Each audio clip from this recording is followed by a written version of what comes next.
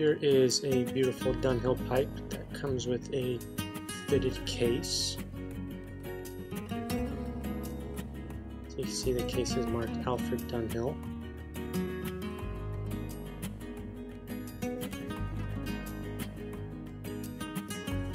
Case is in great condition for how old it is.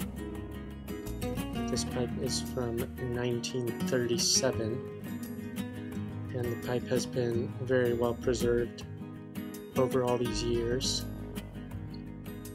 And this piece is fully restored, sanitized, cleaned out, and ready to smoke.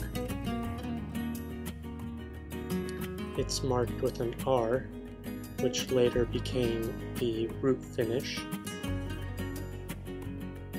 And as you can see, it's in great condition all around.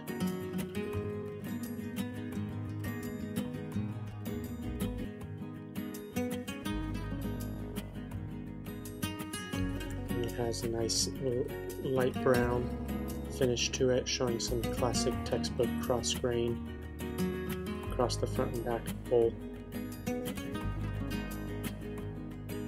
Very well made early pipe from Dunhill. Very collectible and very rare, especially in this condition. You could light this baby up and it'll last you for another century.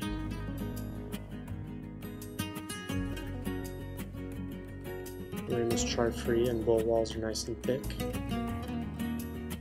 Stem is Cumberland and has no teeth marks on the top or the bottom. Pipe is marked Dunhill, London, R.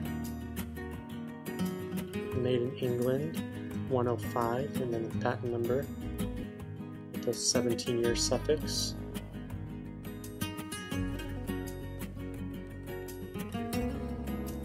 So again, a very beautiful, very early Dunhill pipe in great condition and ready to be enjoyed by its next owner.